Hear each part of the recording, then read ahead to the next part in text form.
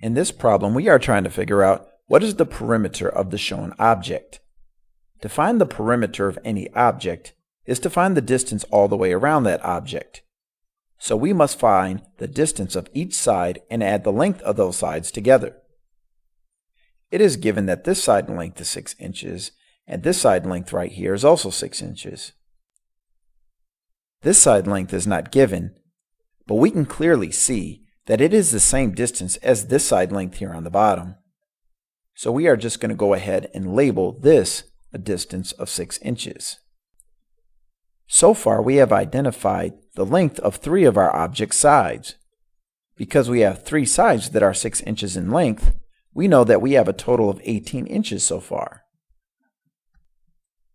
Now we have to figure out what is the distance from this point following the arc in this direction all the way to this point here.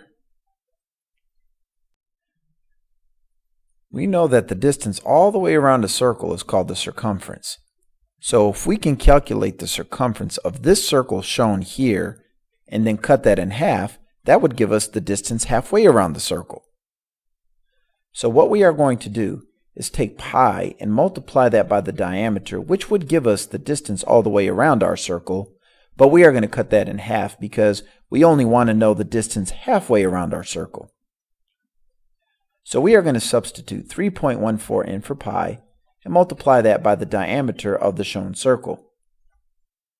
The distance or the diameter across this circle is 6 inches. Because the line segment right here is 6 inches and it is equal in length to the circle's diameter, the diameter of our circle is also 6 inches. So we are going to plug 6 in for the diameter in our equation, and after multiplying 3.14 by 6, that would give us the distance all the way around the circle. But remember, we are going to divide by 2 because we only want to know the distance halfway around our circle.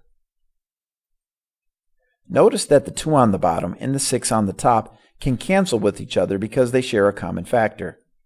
2 can be divided into itself once, and 2 can be divided into 6 three times.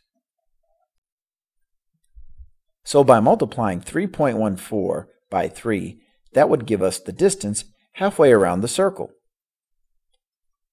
3.14 times 3 is 9 and 42 hundredths inches. So now we know the distance from this point halfway around our circle to this point is 9.42 inches. And we have to add that to 18. So we are going to add 18 to 9 and 42 hundredths.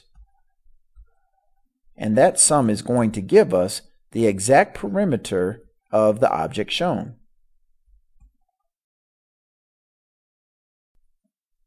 After adding these two values together, we come up with a total of 27 and 42 hundredths inches.